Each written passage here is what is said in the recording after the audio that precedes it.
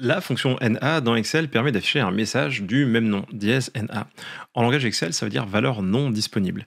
C'est une fonction qui est assez simple à utiliser parce que si je fais égal NA, eh bien je n'ai rien à mettre euh, entre les parenthèses de cette fonction. Donc tout ce que j'ai à faire, c'est ouvrir, fermer la parenthèse, faire entrer, et comme vous pouvez le voir, on a ce petit message dièse NA qui apparaît.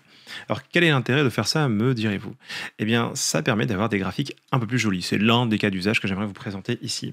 Euh, par défaut, dans Excel, quand on insère un graphique, eh bien euh, on va faire apparaître tous les zéros dans les étiquettes de données. Comme vous pouvez voir dans mon histogramme, je fais apparaître les étiquettes de données. Et comme on peut le voir, au niveau de chaque barre de mon histogramme, eh ben, on a la petite valeur qui apparaît au-dessus et zéro quand la valeur initiale était zéro. Et ça, c'est pas très beau d'avoir des zéros partout. En fait, on aimerait bien s'en débarrasser. Donc, euh, l'un des moyens les plus simples, c'est de passer par la fonction NA.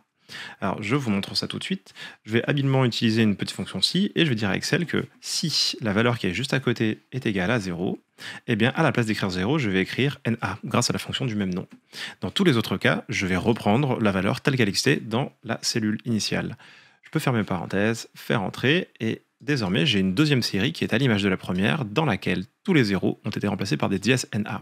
Si maintenant j'utilise cette deuxième série dans mon graphique, donc toujours un histogramme, dans lequel je vais toujours supprimer tous les éléments dont je n'ai pas besoin et insérer mes étiquettes de données. Comme vous pouvez le voir, on n'a que les valeurs d'Instagram qui apparaissent et les zéros qui ont disparu.